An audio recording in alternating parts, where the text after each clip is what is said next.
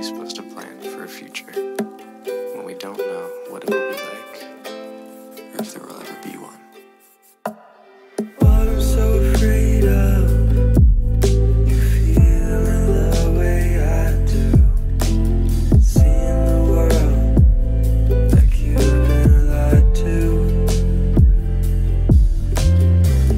so afraid